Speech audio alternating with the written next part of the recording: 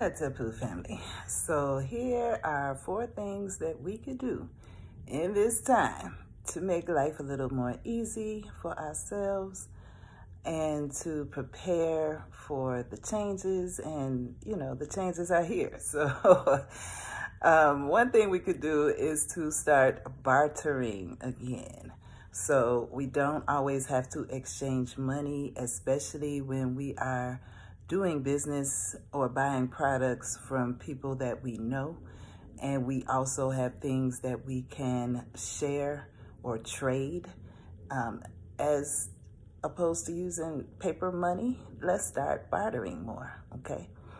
Number two, we want to start carpooling more. So if we have friends and we all want to go to the market across town, we can all ride together, share the gas expenses. We can buy food together um, and share some of the cost, especially when we're buying bulk foods and stuff like that. That will help a lot. Okay, number three, we can live together and not just families, but families also. Aunts, uncles, cousins, brothers, sisters. Let's share our homes. That way we can share expenses. The rent prices are crazy. We can cut those rent prices down when we are living together. Um, we can also, like single mothers, um, share a house together, raise the children, help cut the expenses. Um, even if you have a big house, you can rent rooms out live communally, that is something that will help us to do, help us to live better in this time. And then, of course, finally, number four is to grow some food, right? Grow food and also talk to your neighbors and grow food so that you're growing things that will complement each other and everyone is not growing the same thing.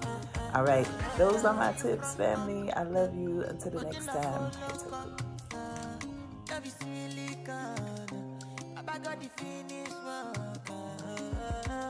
Without you, I could feel lose my mind. Without you, I could feel fall and die.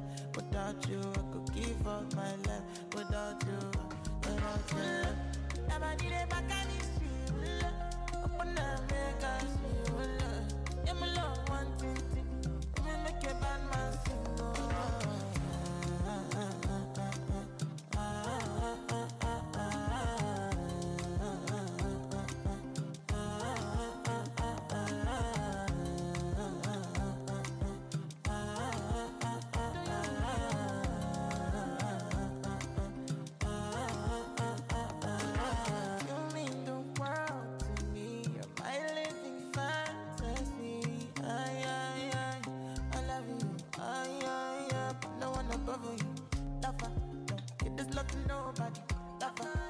Another nigga honey.